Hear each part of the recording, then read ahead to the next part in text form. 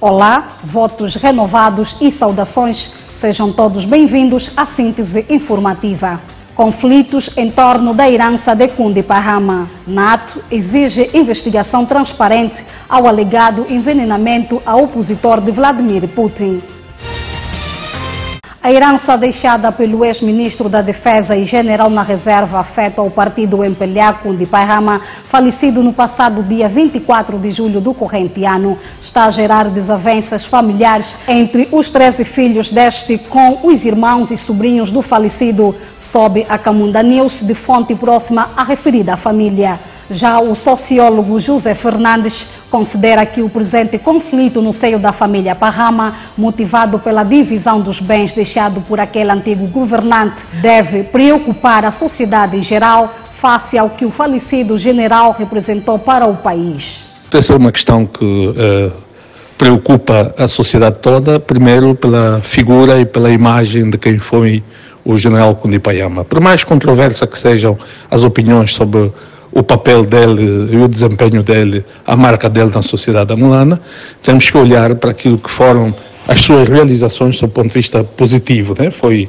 um combatente ativo no, no processo da reafirmação, não só uh, uh, no tempo de guerra, mas também no processo de, de, de, da consolidação da democracia e da paz, uh, e o papel dele na mobilização social, no engajamento das comunidades que estavam no meio rural é inquestionável. Foi um grande orador, dono de uma palavra muito fácil e, portanto, foi uma figura de, eh, de destaque dentro da, do métier político da sociedade angolana. Agora, as questões de herança são das questões uh, chaves na, na, nossa sociedade angolana. A, a, gestão dos bens e dos meios que uh, o, o falecido deixou. E no momento em que nós estamos a chorar ainda, a família está a lamentar a morte de, um, de uma pessoa que se destacou não só na sociedade angolana, como também em termos da família, temos que deixar que, de facto, o espírito do falecido repose para depois começarmos com o debate uh, das questões materiais. É muito prematuro e eu acho que não é positivo para a alma, para o espírito do general Kundipayama, numa, numa altura como esta, uma morte fresca e recente, começarmos a falar da divisão de bens. A divisão dos bens tem que ser feita de forma justa, de forma equitativa, sem que este assunto seja motivo de conflito uh, dentro da família. Era o sociólogo José Fernandes.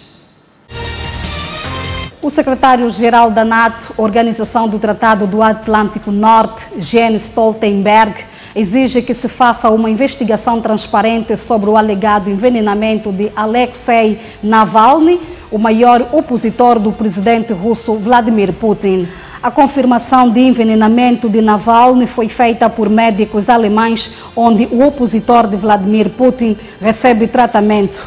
O governo russo nega que Navalny tenha sido envenenado mas o responsável da NATO diz não haver razão para duvidar das conclusões dos médicos. Já a comissária do Conselho da Europa para os Direitos Humanos adverte ser crucial que as autoridades russas conduzam rapidamente uma investigação independente e eficaz e, em particular, conclua se houve ou não intencionalidade.